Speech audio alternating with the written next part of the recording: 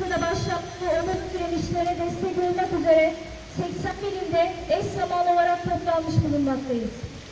Bu direnişin teröre en büyük darbeyi vuracak iradeyi ortaya koyduğuna yürekten inanıyoruz. Tarih, Diyarbakır'daki annelerin ve teröre meydan okuyan direnişlerini saygıyla yazacaktır. Bulundukları şehirlerde siyasi ve toplumsal yalnızlaştırılma dahil her şeyi göze alıp evlatlarının anneler başka canlar yanmasın diye çıktıkları yoldan inşallah zafer ulaşacaklardır.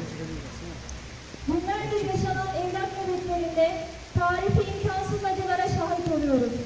Evladının ölüsüne bile razıyım diyen annelerin masum ve insani direnişinin yanında olmak hepimizin boynunun borcudur. Bizler Edirne'den Kars'a tek